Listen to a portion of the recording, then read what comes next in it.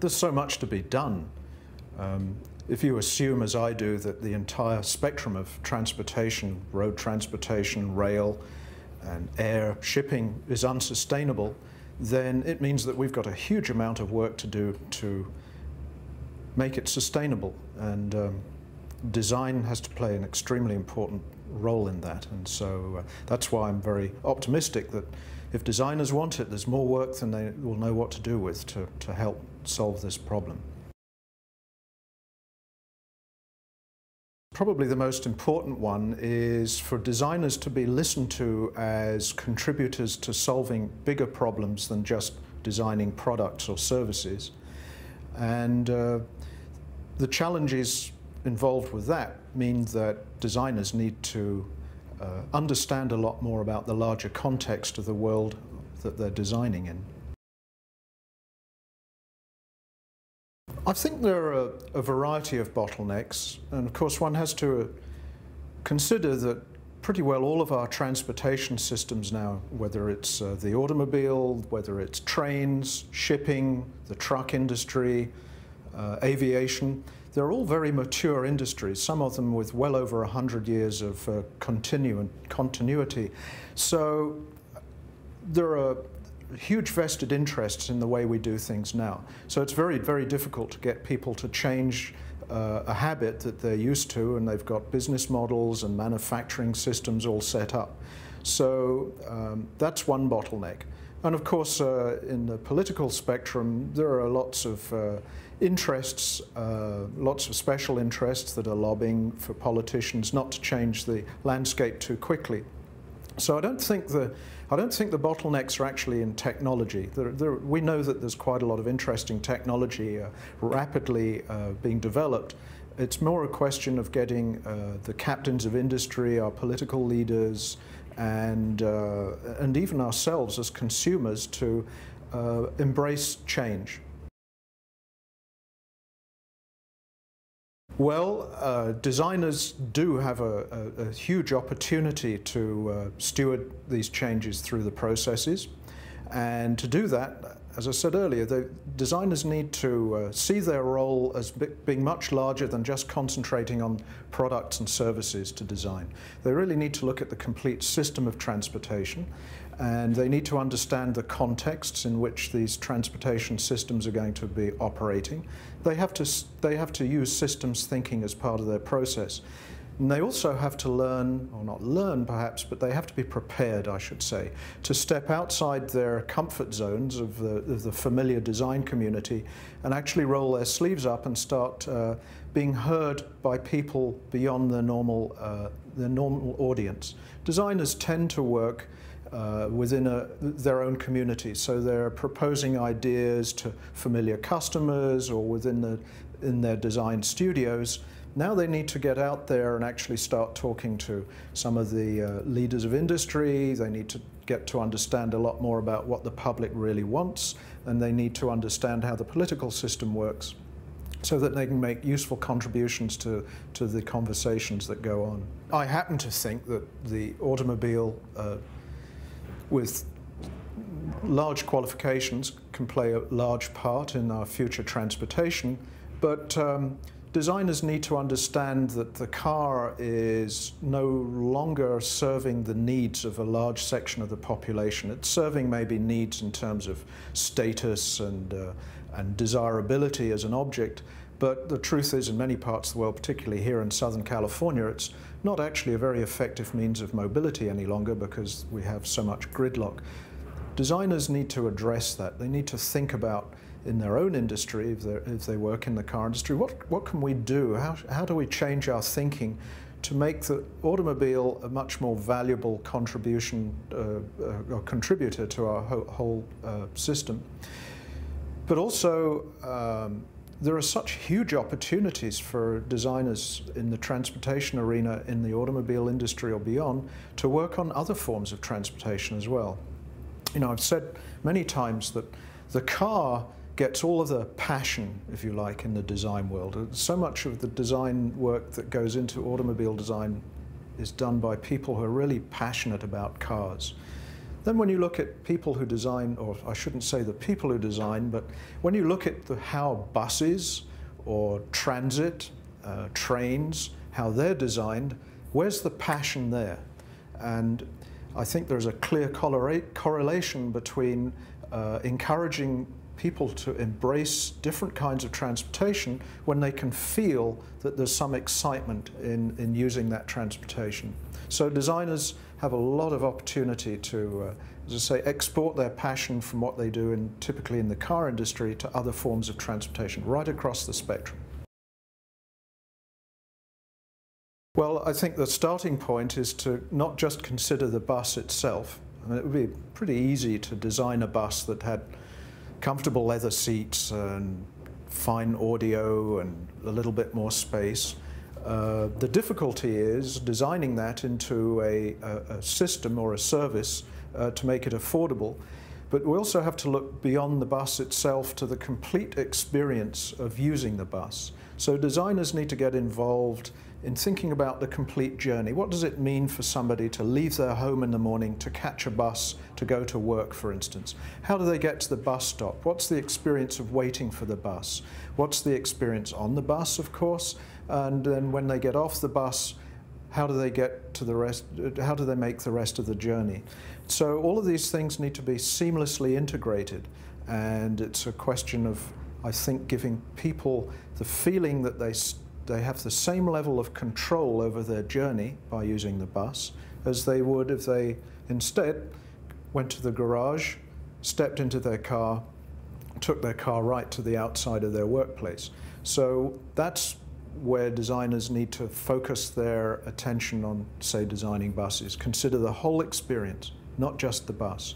And looking at street furniture, bus shelters, the, the connectivity that we have with all of our um, Uh, uh, technology available now so that customers know how long it will be before they have to wait for the bus. Maybe the bus, maybe they don't have to go and wait at a particular spot for the bus in the future. Maybe the bus will know to come make a small diversion and come and collect them from where it's convenient. So it's the total experience.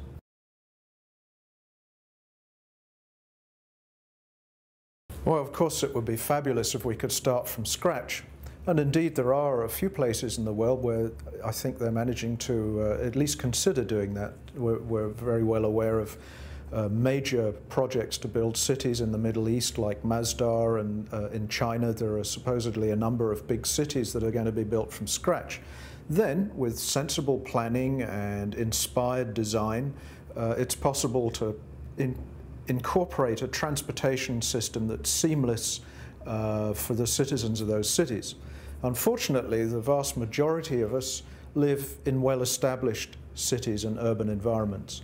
And so, unfortunately, we don't have the luxury of saying to uh, residents of Los Angeles or Atlanta or Phoenix, sorry, you've got to go and move somewhere else for 10 years while we completely reconstruct the city. It doesn't work like that. So in many ways, we do have to do both. Wherever possible, we need to, we need to um, introduce revolutionary new ideas into new cities and new environments, but where we have entrenched environments, we have to build upon what we've, what we've got. But I'm fairly optimistic that uh, given the right, uh, the right inspiration and the right opportunities, that can be done to good effect.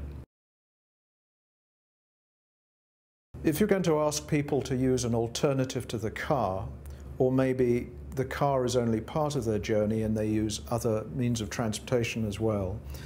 Uh, it has to be as seamless as possible. So people need to know that if they use their car for the first mile of the journey to the railroad station or the transit station, that they can just drive straight there, find somewhere to park, and then they can step pretty much straight onto the next transportation system.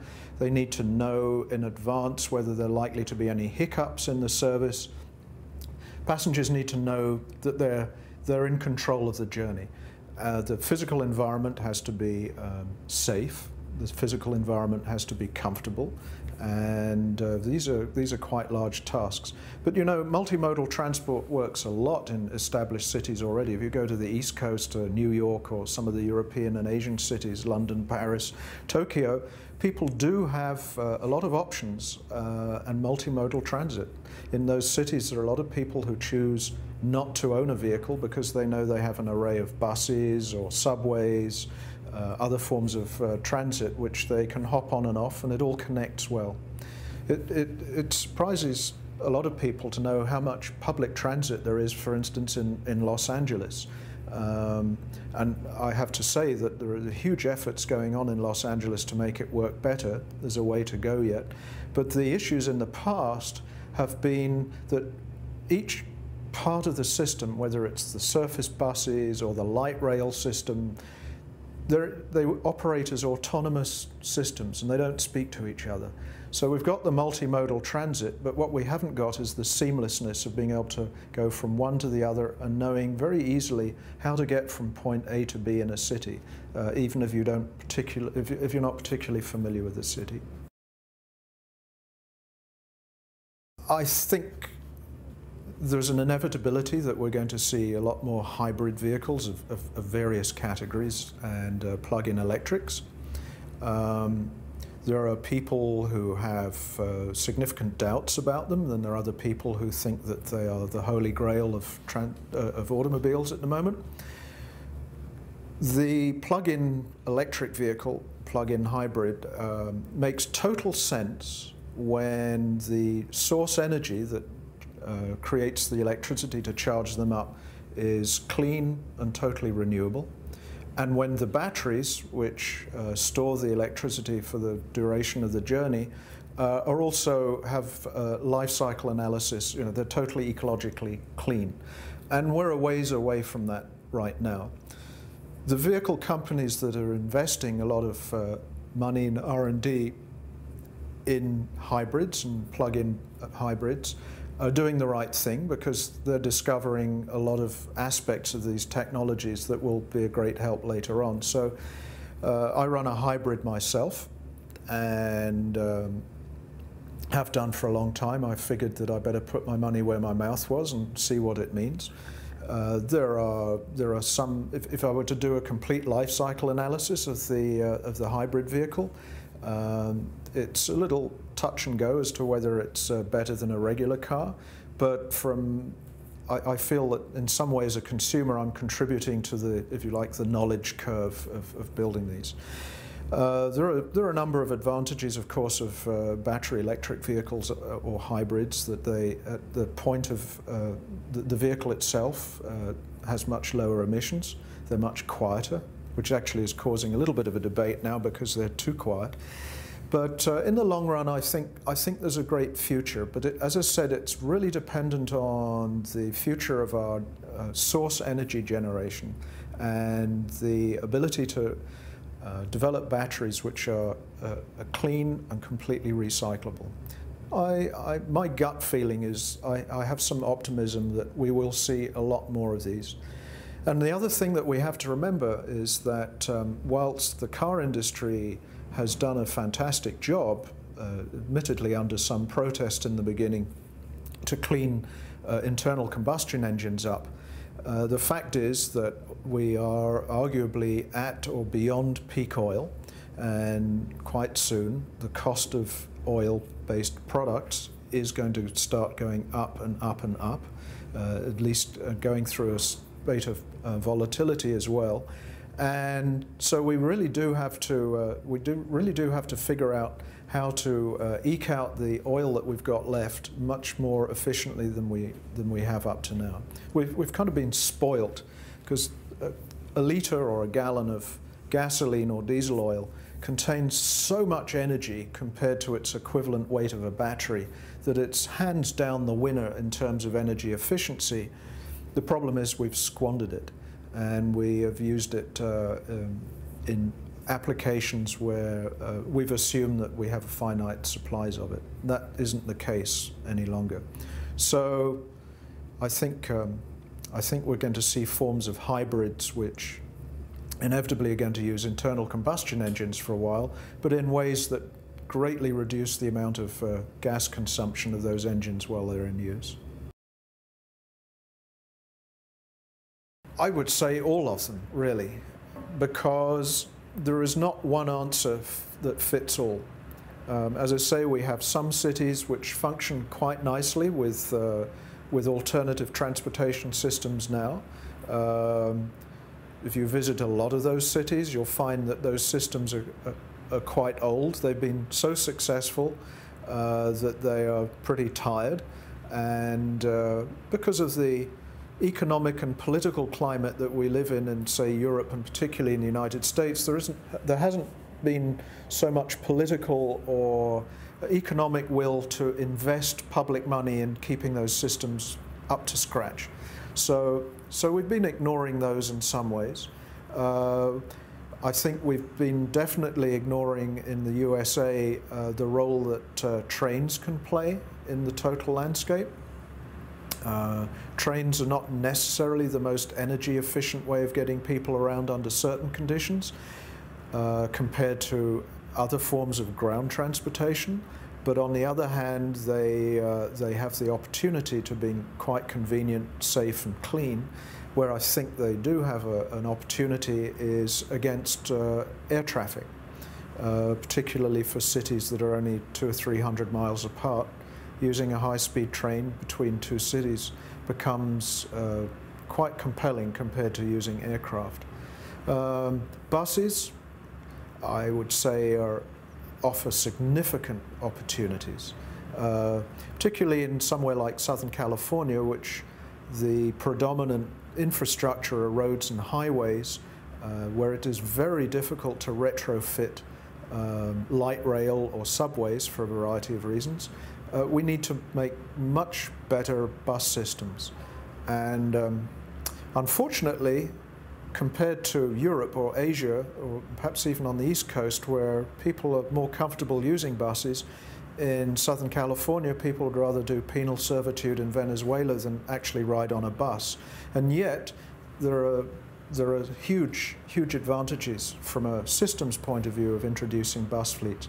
And um, one must take their hat off to uh, MTA in Los Angeles. They've been doing a fantastic job of uh, building better bus systems and bus routes for us all to use. We need to keep on doing that. We need to make it easier for people to, to make those journeys which are really not, uh, they shouldn't be using an automobile, not particularly convenient to use a bus, and certainly doesn't make sense to use a subway.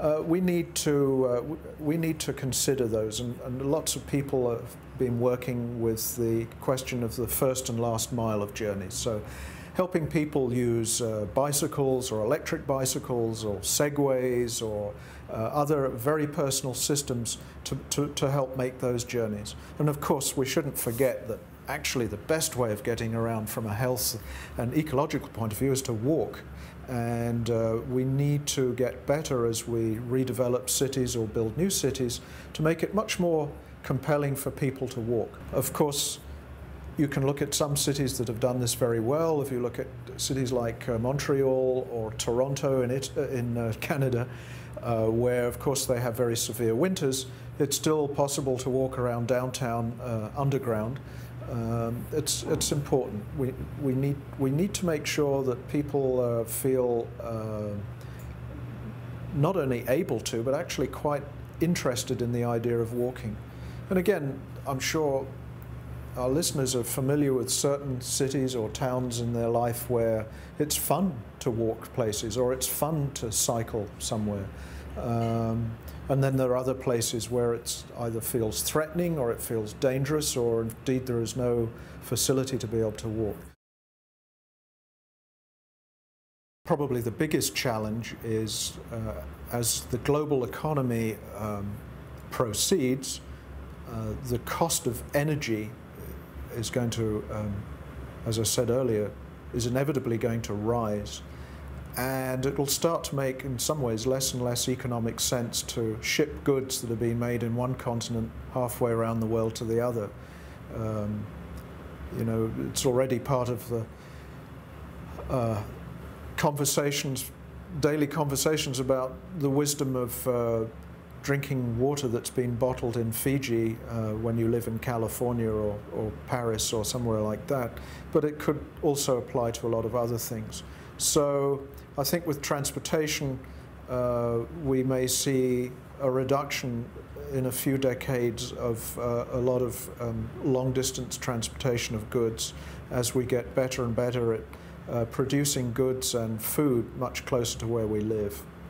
Uh, so I think the cost of energy is, uh, is going to be one of the challenges, and we see it already. You know, most people who complain that the cost of food in the supermarkets is going up think it's all uh, a conspiracy against them.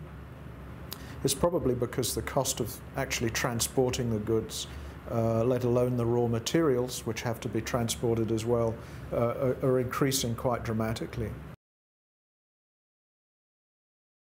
Well, if you look at the history of the automobile, there have never really been any radical changes. I don't see any radical changes or step changes in the uh, near future at least, but I think we're, perhaps we will see some bigger changes than in the past.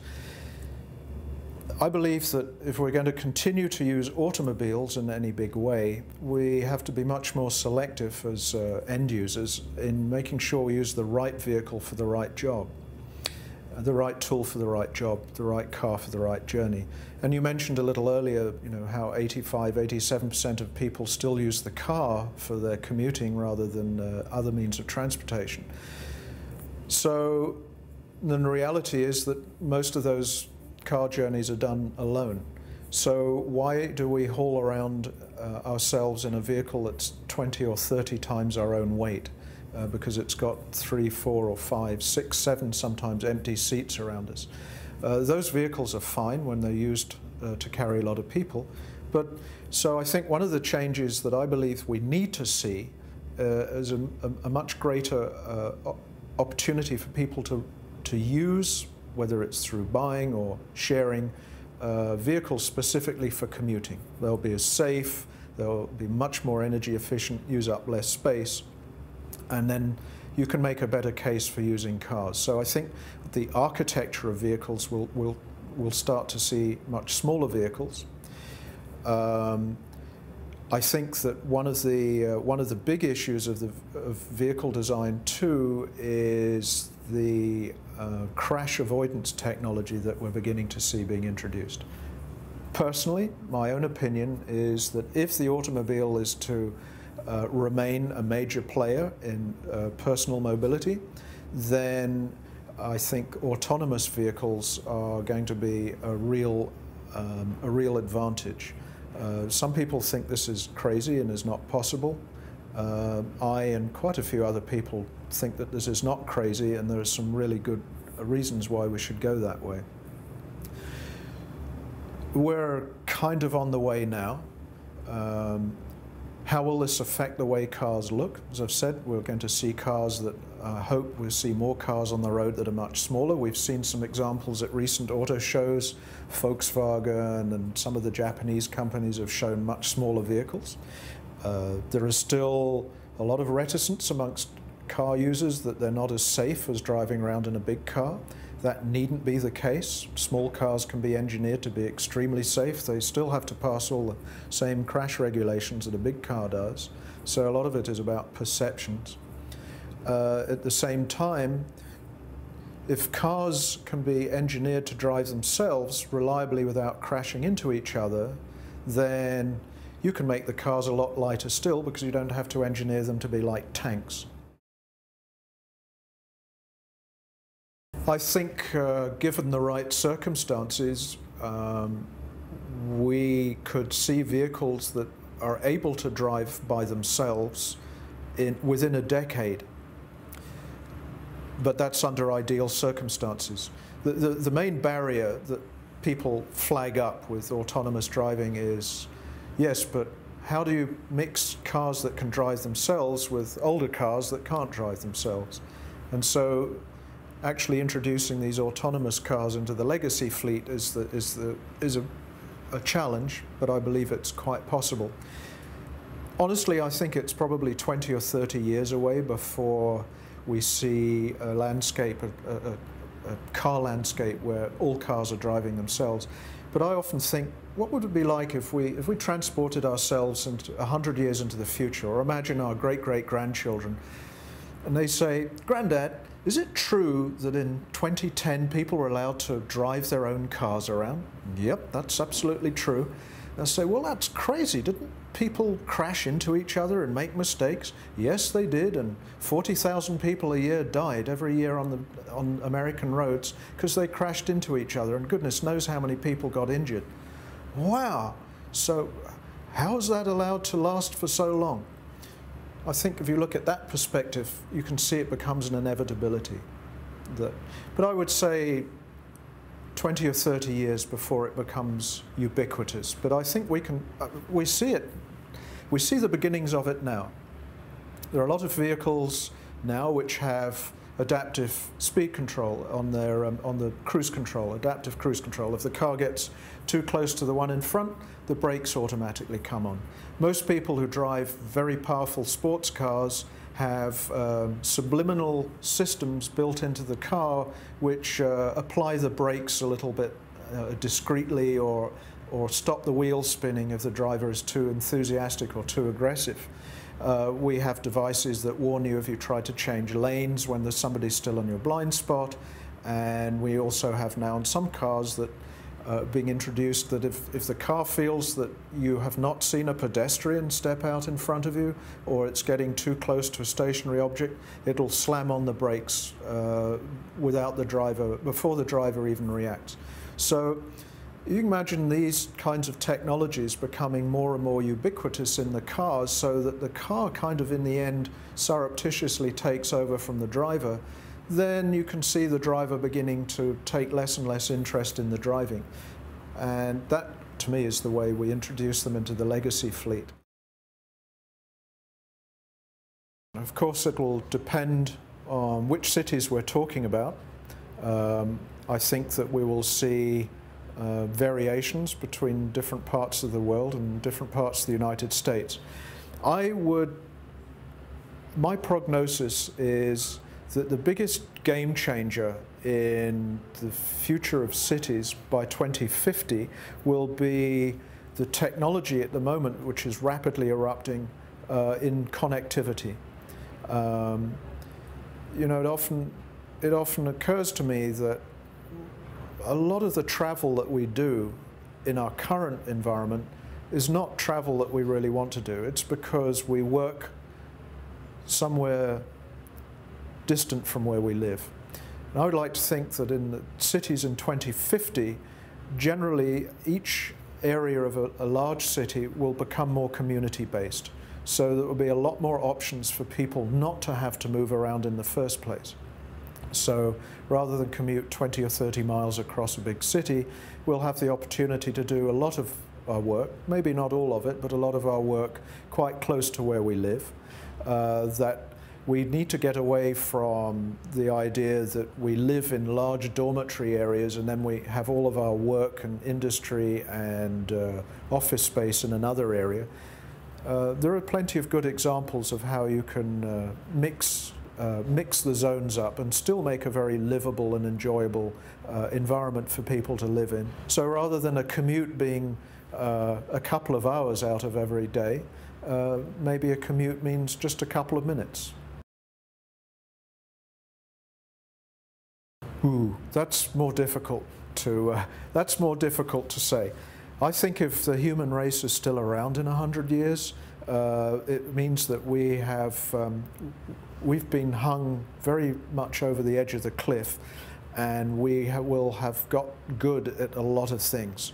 I think, uh, I think uh, even maybe by 2050, uh, I mentioned it a little before, we will probably be uh, moving goods a lot less and food. We will be needing to grow a lot of the food and, uh, and the goods that we consume uh, we need to produce that much more locally to where we live rather than divorcing it from the cities. We need to become more integrated and the same with work. uh, I think that will be far more community based. In some ways, it will require us to, to go backwards a little. Maybe we'll be living in smaller, but at the same time, much more desirable living spaces. Uh, we will, I mean, it's just, it's so difficult to predict what technologies we'll have available in. Um, in 90 years' time. It's difficult enough in 50 years' time, but so it's really difficult to say. So, if we've got cities in 2100 uh, makes me very optimistic that we'll be still around. We'll be, if we're still around, it means we figured out how to do a lot of things much better than we're doing now. Well, I think a lot of it comes down to uh, making sure that we, we really are designing to uh, solve problems that need solving. And um, you know, it, over the span of my career, the word design uh, has gone from being uh, a word that most people don't really understand to a word that people, most people think they understand it, uh, but sometimes it's misrepresented. Design and styling are sometimes interchanged a little. And I think with design, um, it is very much an onus of the design community to make sure that we are in the general conversation about what needs to be done in the bigger picture, that we need to be working very honestly with ourselves and with other people about what it is we're designing for, how we go about it, and at the same time, we need to think on a much bigger scale. Uh, I talk about it a lot, but the world is going to is is getting more and more complex as the as days go by, as the years go by. As designers, we have to become systems thinkers all of the time. That's extremely important. And so everything we do has to be an honest statement of what really needs to be done. Well, it, Actually, in the field of transportation design, I don't see, I don't see any step changes coming along at the moment. Uh, everybody's working very hard to make useful incremental changes. So we have um, vehicle manufacturers and train manufacturers and aircraft manufacturers who are, who are trying to make vehicles lighter and more energy efficient. Uh, we have people working on figuring out new ways of manufacturing that require uh, or, or, result, I should say, in less uh, toxic waste stream into the environment, uh, looking at uh, renewable materials, uh, which, uh, which can be used time and time again, true recycling. we see a lot of effort to, to use uh, less oil or gasoline in, in, our internal combustion engines. Game changers, uh, Project Better Place, uh, Shai Agassi's Project Better Place is kind of interesting. Uh, somebody really putting their head on the block with, a, with an idea for helping the emergence of battery electric vehicles, which is building up quite a lot of uh, momentum now and support from one or two vehicle companies. Uh, that, that could be a game changer. I think the real game changer will come from, or changes should, will come from, uh, from technologies that are being developed for other kinds of um, outcomes and industries, which, uh, which will create unprecedented uh, and unintended consequences, which could, could help trans the transportation landscape. And I'll mention again, you know, the game changes that we see in mobile communication, uh, that's very exciting. And uh, a lot of that can really displace some of the need to move ourselves around a lot of the time. Uh, so I think the main game changes for transportation are going to come unexpectedly from areas that we're, we're not thinking about. Uh, meanwhile, we've got I think that the, the biggest game changer has to be the way we all think about the way we move ourselves and goods around. And we've got to get different, um, we, people need to understand actually the unsustainability of what we're doing at the moment. And uh, it, it's, uh, we're so used to our environment around us. We're so used to the way we do things. We're so used to our living patterns that it's very difficult for us to question the absurdity of it all. Uh, which is why I like to go out 100 or 200 years into the future sometimes and kind of look back through those retro binoculars and think, my God, how did we, how did we get away with doing that? And I think that um, that's, that, that's our real challenge as designers. We have to think on a systems basis, but we have to help all of the different constituents see that there can be not only a better sustainable way of doing things, particularly in transportation, but it'd actually be much more fun and desirable than what we, how we do it already.